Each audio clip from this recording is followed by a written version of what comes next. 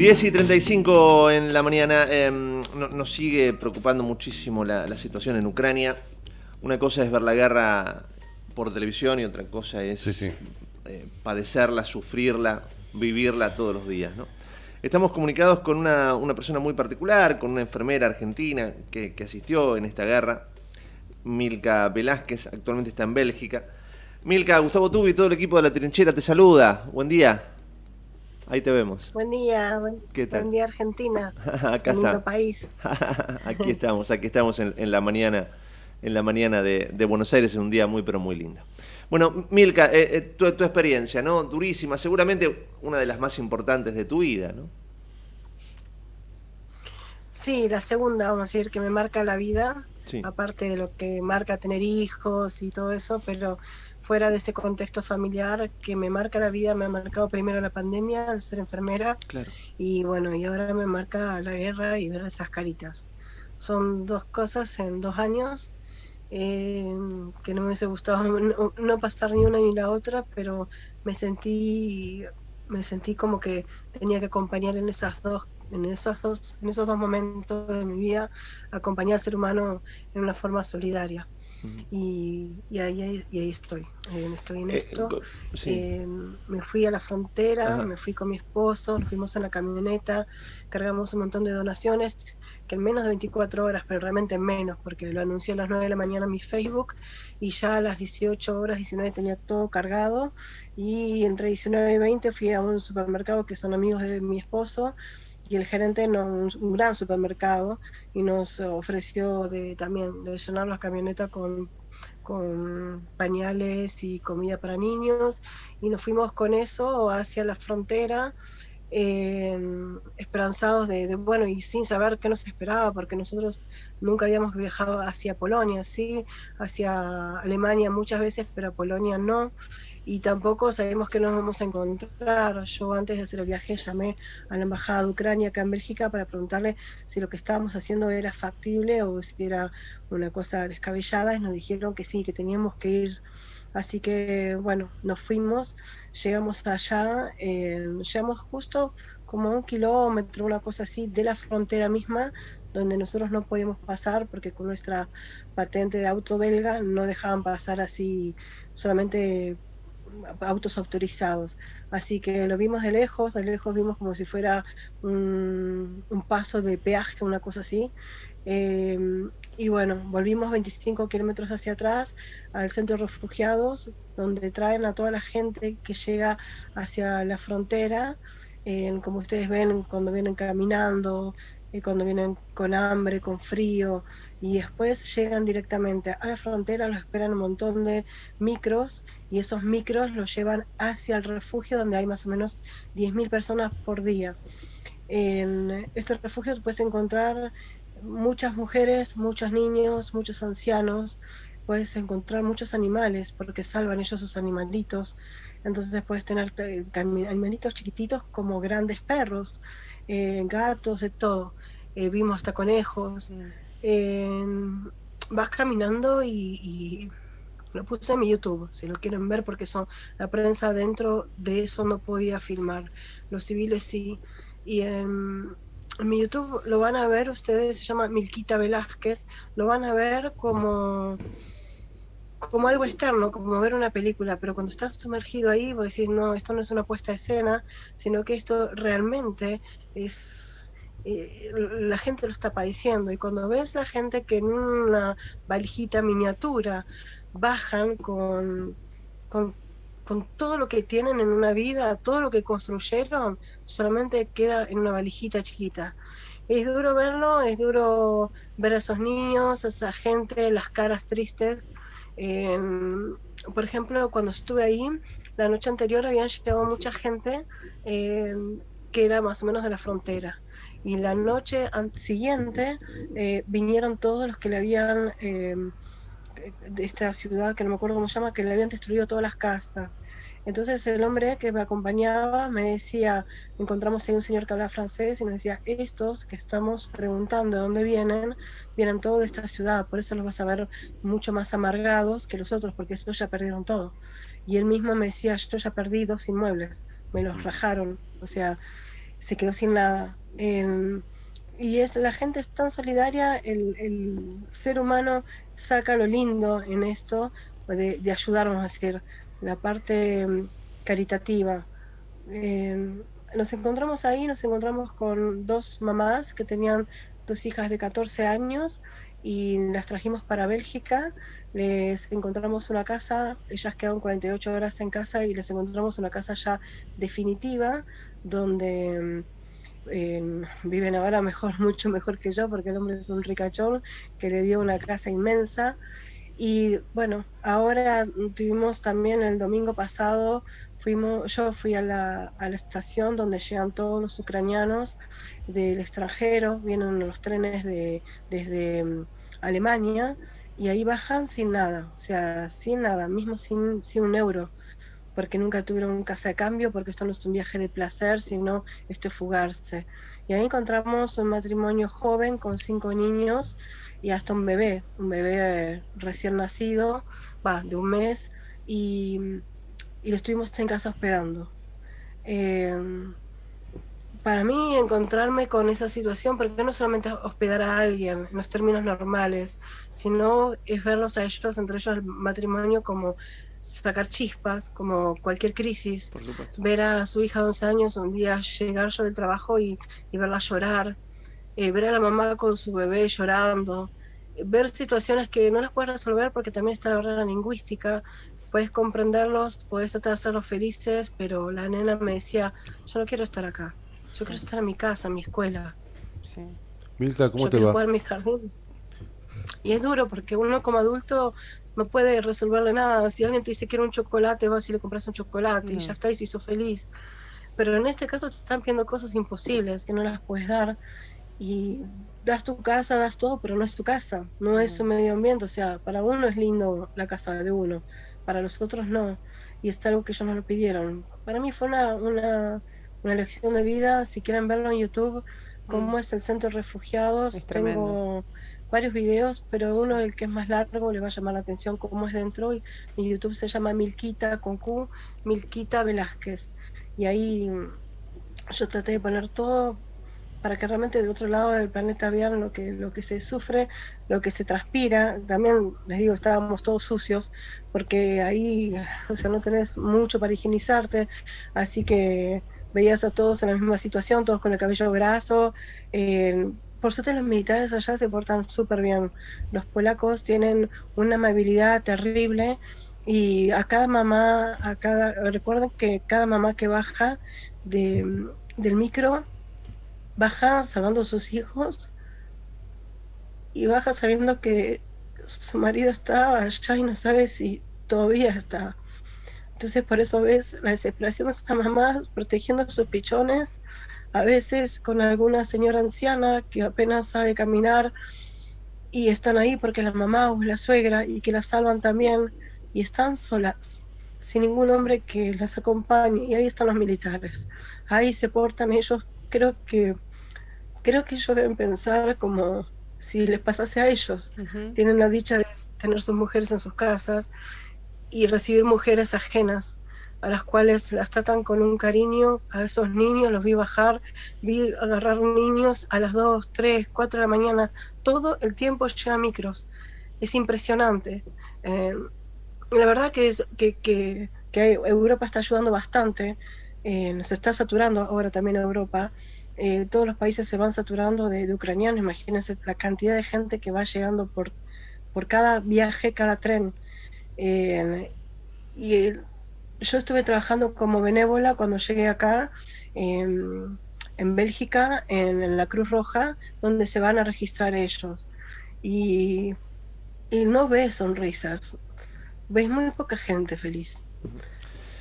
Eso me em, choca. Yo trataba siempre de saludarlos le, decía bonjour, bonjour y los guiaba donde tenían que ir a inscribirse. Yo era como la guía que los recibe y los llevaba hacia, los, hacia las oficinas y cuando necesitaba un traductor yo corría para buscar traductores y siempre les trataba de, sonreír. Siempre lo trataba de, dar eso, porque más no puedes dar, porque le sonrías, le hagas lo que quieras, hagas cosquillas a esos niños, a esos ancianos, no, no la vida se le cambió en un segundo, en días, ahora en un mes, porque cumplió un mes. Esa fue mi experiencia. Sí, em, es tan, tan importante escucharte, ¿no? Uno te deja hablar, necesitas contarlo, nosotros necesitamos escucharte y realmente nos, nos conmociona, ¿no? Que cada palabra de, tu experiencia. Bueno, aquí están Gabriela y, Raúl que te quieren hacer dos, preguntitas. ¿Cómo te va, Milka? Raúl te saluda. ¿Cómo estás? Un enorme placer. Eh, vos sos enfermera más de una vez desde chico, yo tengo muchos amigos y parientes médicos, hablamos y, tuvimos muy presente el corazón de la enfermera que está muy cercano, del, muy cercano al que sufre. Tengo entendido también que todo esto lo hiciste con tu esposo y que de alguna manera, este, bueno, desde ya haciéndolo entre los dos fue más, más, más fácil. Eh, particularmente sobre estas dos chicas que rescataste, que, que, que, bueno, con, sus dos hijas también eh, están un poco más a salvo. ¿Seguís en contacto con ella, con, con, ellas? ¿Cómo, cómo están? Y, después lo último te quería agradecer, nada más. Sigo en contacto con ellas, las, las dejo respirar, las dejo que ellas crezcan acá, porque como yo fui inmigrante, necesité también ese respiro, mm. no que haya alguien sobre mí apabullándome, sino yo descubrir el país. Le di muchos consejos a ella, le dije que cuando quieran y necesiten estoy ahí. Lo que pasa que como sigo ayudando a otras familias también, eh, y por es una red solidaria tan importante que yo chateo con gente que no sé quién son, no les veo la cara porque tienen una, una, una un drapo, ¿cómo se dice? Una bandera de Ucrania y, sé los nombres, pero no los conocemos. Entonces también es como que yo tengo el contacto con ellas, pero a su vez es un engranaje de gente desconocida, nos pasamos datos, todo para ayudar a gente. O sea, yo a veces me paso todo el tiempo a celular como un adolescente, pero solamente porque me dicen, se busca una, una familia, está buscando dos lugares, hay alguien que está buscando para un perrito tal cosa. Entonces yo sé que otra persona puede dar esa ayuda y estamos así. Y toda esa gente que yo contacto, nunca le vi la cara. Mm. O sea, es una cosa extraña que jamás yo, yo supe que existía. Hacer una solidaridad con gente que no sabes quiénes son que no sabes dónde viven, no sabes qué edad tienen, nada. Es una cosa que jamás, porque uno, imagínate que uno está salvo, yo decir, para voy a buscar entre mis amigos si alguien tiene, no sé, una cunita para el bebé. Llamo a mis amigos, a quienes tuvieron bebés y pueden darme una cunita.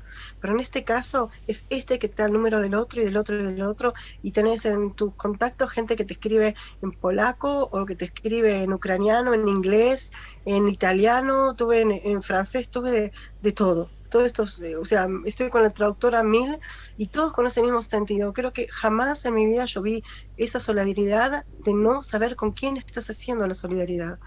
Mm. vivo, hay, hay un mapa que se llama, ahí no me acuerdo, Map Help ucraniano, no me acuerdo cómo se llama, y entonces vas ahí y podés buscar casas, si vos tenés una persona que te dice yo quiero ir a Francia a vivir, podés buscar y hay gente que da sus casas y cuando miras las casas que dan, chicos, no es o sea, la gente es súper dadivosa. O sea, el que más tiene también es el que más da también acá.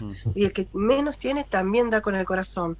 Las chicas estas que yo les dije, las dos mamás con las dos hijas, dejé una casona gigante. Yo nunca entré en una casa, bueno, dos veces entré. Uno fue un amigo de Jorge que tiene mucho dinero, tiene bancos y todo, y el otro es este señor que tiene todo de colección. O sea, vieron que usted siempre tenemos un amigo que tiene una casa quinta linda, que tiene una casa más linda que la nuestra. Bueno, esto imagínenselo en 100 veces más. Nosotros entramos y no podíamos creer un museo. Tenía todo, era una casa de ricos, pero de ricos de, Europa. Y el tipo vivía solo con sus dos perros y estaba re contento que ellas vengan y, y, y, se trajo todavía otra señora, otra amiga con un bebé. Y me dijo, esto es lo que yo puedo hacer. Dice, yo no sé, si hay que hacer más, hacemos más. Y así me contactó gente de Argentina, un médico de Argentina bastante conocido, eh, que no es ucraniano, que es nada, que, que, es argentino, y él también queriendo ayudar. Me dice, ¿cómo puedo ayudar? Yo pago un pasaje, tengo un buen vivir, me mostró su barrio y wow, yo dije, ¿dónde vivís? O sea, eso es otra Argentina que yo no conozco, un barrio privado, pero wow, así.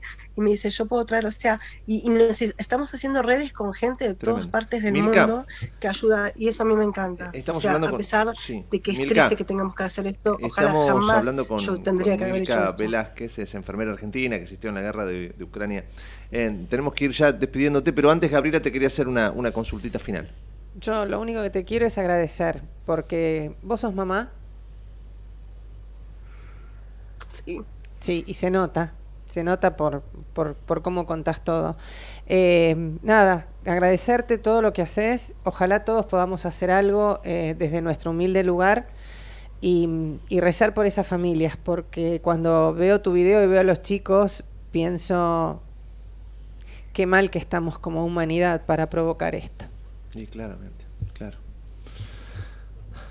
claro. Eso sí, sabes que me dijeron mis hijas, yo siempre he pedido permiso a mis hijas para invitar gente a casa, para hacer un asado, para todo. O sea, es, es mutuo, ya me tienen que pedir permiso a mí y yo a ellas. Y, me dice, cuando yo le digo a las chicas, mamá se va a ir, eso es que estalló la, la guerra, no había ni corresponsales allá, ni mismo corresponsales argentinos, ahora sí lo hay. Eh, y cuando yo le dije a las chicas, mamá se va para allá, ¿me autorizan a ir?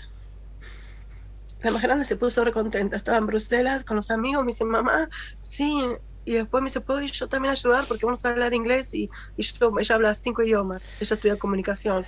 Entonces me dice, ¿yo puedo ir con vos? Y yo dije, no, mamita, vos te quedas con tus hermanas, porque vos sos la única mayor de edad y tus hijas son, mis hijas las otras son menores. Así que una tiene 17, otra 15, vos te haces responsable de la casa. Y yo siempre dije a las chicas, de chiquitas, yo no firmo ningún cuaderno, yo de chiquita no, no observo nada, o sea, ellas tienen que ser adultas porque dije el día que mamá no esté, si pasa algo, son ustedes que tienen que administrar toda la casa. Y ellas saben a mí, si yo mañana muero y mi esposo, ellas saben. Y yo dije, bueno, me voy sola con papá. Eh, la segunda me dice, mamá, ¿sabes qué me parecía raro? Hace 48 horas que estoy pensando cómo mamá, cómo mamá no va. Sabiendo cómo es tu carácter, me parecía raro que no te estés moviendo para ir. Dale, mamá, andate. Y la tercera también, o sea, que para mí crear en mi familia esa solidaridad, a mí me encantó, me gusta mucho. Mis hijas me decían, mamá, trate lo más difícil que puedas.